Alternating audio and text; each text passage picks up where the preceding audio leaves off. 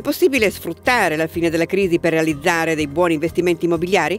Se ne è parlato a Palazzo Lascaris, in un convegno che ha messo a confronto i professionisti del settore immobiliare torinese con Federconsumatori. Obiettivo? Fornire strumenti adeguati per sfruttare al meglio le nuove opportunità immobiliari che si prospettano nel prossimo futuro nell'area del torinese.